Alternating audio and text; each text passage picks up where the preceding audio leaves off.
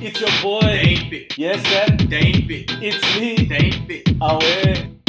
Enjoy. David, Yeah. David. Welcome to the show, and, and this is, will be our, our first episode.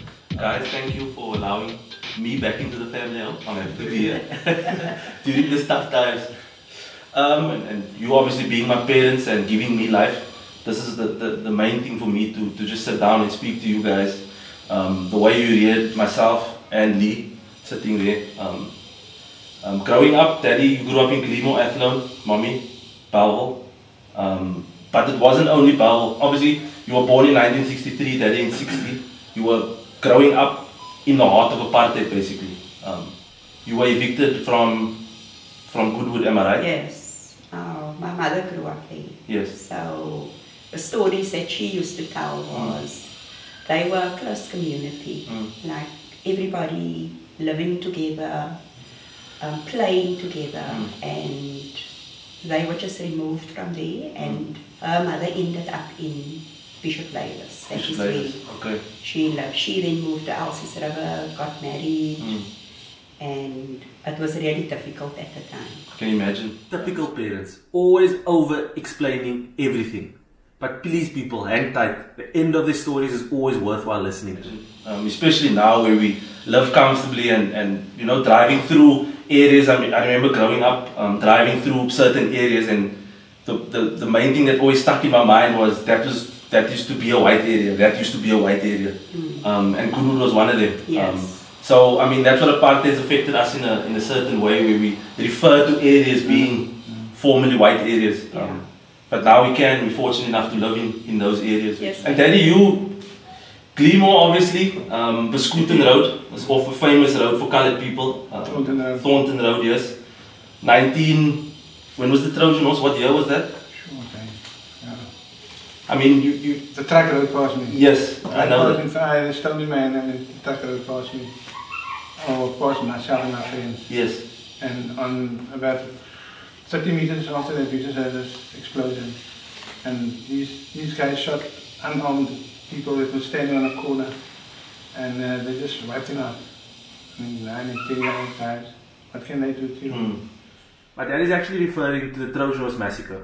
For those of you interested, there's a memorial site in Thornton Road, Athlone. So yeah, but um, we we had a very quiet area. Everybody knows everybody. Yes, You can go in there supper time of course. And say get die reis hiervoor. Yeah.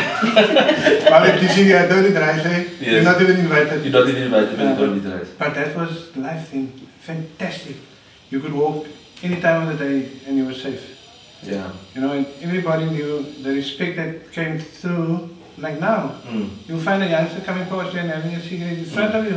That's disrespectful. You know? So, so there was a lot of, lot of respect for, for the elderly or the older. Yes. you know. I mean, like, gr- I eventually grew up and sitting in Granny's house, the family house there in Bescouten Road, and you guys, brother and sister, whoever visited, would walk out the house to go smoke, but you'd sit in the lounge and drink in front of Granny. that I always found funny because. I never like, smoked in front of my mom. Exactly. We went to, to uh, like we used to call it Langarm, Yes, soccer dancer in it. yes. And, A saljo. uh, we sitting, yeah, we were sitting and drinking, but we were smoking outside. Outside, yeah. And that I always found strange where it would be disrespectful to smoke in front of someone, elderly, but you can drink in front of them. That was I always found. I found a, a certain type of Like my uncle said to me, he took the place of my father when my father died when I was Yes. just, just before 10. And then uh, he took the place of my father and he told me, drink ye? mm, it, yeah. Yes, I drink. Mm, Okay. But you must have respect. mm, My I drank with your grandfather and we used to sing and that's why I still love singing. mm, you're a big singer, yeah. So, so, so he used to tell me, you can have a drink, but you need to behave yourself. Mm. something happens, never again. So that was the respect we had. We could drink Mm, and we could get to shut up. That's it. that's it, yeah. Know your place when, when you start Thank to talk, yeah. You know? Growing up now, um, you, met, you happily married for 32 years. Mommy, I don't know if you're happily married. Daddy will say a joking. you married for 32 years. Um, you answer. You, speak, you, you must you probably you probably met like every other colored uh, colored uh, couples back then at camp a lot of couples met at camp. We did. You did? Can you can you speak? What happened? I know you poured rum for daddy and you poured Fanta for the rum. No. Don't rum is wrong. If Daddy told you that, it's wrong. we used to camp at uh, Coolby, Okay. Coolby, I think they call it Yeah. now. Um, every year we used to go after Christmas and then come back in the new year. And I think Daddy watched every year. Okay. And at the time when he approached me, Who tries to do I think that was the Uh. time when he built up the courage Okay. to come and make contact. Uh, So I didn't give him any information. okay. My mother gave him information. Okay. My mother gave him information. So, And you went more like this. so Daddy came one day and he asked me if I have cool drink Mm. um, because I needed for the rum, I think. And we had a Fanta. And I gave him the Fanta. and that, that is how we met. And Then- people know you cannot and- drink red hot or Fanta. Well, I didn't know that. And I'm, not a I'm disappointed so because didn't know that. we know Dad is a shy, shy person, right? Mm. And for him to come, did he know your name obviously by that time? Yes. He didn't know your name. We- But you go over to mommy to ask for cool drink. But that was the icebreaker, man. Yeah, maybe use something that could cool drink. And then eventually from there, the, the Yes. journey happened. The Yes. courtship happened, as you say. Yes. Daddy drove a Valiant. Yes. Um, and he used to drive That's from, his, his travels were, were long, obviously. Yeah, Daddy didn't have No, a but then- car at the no. time. Yes. No, we were Fiat Uncle Brian. Yes. Okay, when you told me So. Brian was his Uh. friend and Brian used to fetch us Uh. and then Daddy obviously in the car and then we would go out, Okay. come back. Sometimes Daddy would come with um, your auntie's car. Mm. And then eventually he got a Valiant that was massive. Massive. You used to sit I that sat far away from him. Uh, Um, then he used to come fetch me and went out. mm. Um, I remember the one night um, we went out to town and my cousin was with us. And we went in and then the guy told us that you're not allowed in. She can come in but we can't. Because she's fair, long hair. Shocking. And Straight there. Yeah. Straight there. That's long blonde hair and She like and he girl. said she can come in, But you guys can't go in. but we it was And we Daddy, were you had about a cruise six of copy, obviously. Huh? You had a cruise Yeah, copy, Daddy had obviously. me at the time. Cruise Efron. Yeah. yeah. Um, she she's allowed in. Um, they don't allow colored people into the club, and then we all turned around and. And she obviously just said now she's with Yeah, and she's coming with us, and if she Just because if you were we scared- can't if we can't come in, then no one's gonna go in now. she we not going. So basically with a skin tone like this and hair like this, you're not getting to any sort of clubs. So we turned Unbelievable. around, and those are the I kind mean, of experiences. Experiences that. that, that and it was I never remember. yeah, it was never kept away from, from Lee and I. We, we we heard about it so we knew what the struggle was, you know. A I lot of families don't speak openly about Yes. the apartheid really because they want to make things comfortable. Yes. um, the way that we were reared was never to keep quiet, always say what's on your mind, um, but do it in a respectful way. Mhm. And this is basically what I mean. I've learned personally from from you guys, where we can't be this, you know, introvert where something's on your mind and you carry it around for so long. Hmm. Where you need to be out there and speak openly about what's on your mind. And I can be eternally grateful for that because the career path that I chose, you need to be confident and you know open and honest about certain things you know and and and that for me was something that i could always take with me to go to the you know to the next level of of what i'm trying to do Mm. you know and, and just be confident in in something because daddy is a quiet guy but if there's something on his mind he's going to say it Yeah. and I know you're very stubborn in your thoughts and, you, and what you, you're thinking all the time, but you're also not gonna, you know, keep quiet if something's irritating you. And that is something that, that I'm eternally grateful to, to, to inherit and, and take to, you know, the, the next phase of, of, of my life. Um, I mean, we, we reared you. Mm. We went through everything with you. mm, We cried with you. Mm. And we were overjoyed when you, when you, when you succeeded in stuff. I mean, I can tell, I, am jumping the gun? If I say- yeah, probably not, but you can say. Um, your debut Mm, against um, Zimbabwe, mm, I was so upset because I was training in Spa Mm. and I couldn't get out of Spa because I was between TV and work. Mm. And uh, she said, she, she, you phoned me and she said, I said, no, so, and I phoned you. And I said, did you just take a wicket with this first ball? Mm. And the people thought I was mad Mm.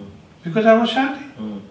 And I felt it was a God-given talent. So fulfill Right. that talent, yeah. So let us help you to develop that, Of course. both you and Lee, Mm. and then see where you end up. And today I'm sitting back, and I'm proud of both of you because you achieved what was set out there for you, and it's through hard work, Mm.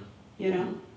So I just feel if we didn't give you that opportunity, then it would have been selfish. I, I just feel that um, um, Dane, with what he was doing, he was also struggling to get into the teams. Yes. Mm.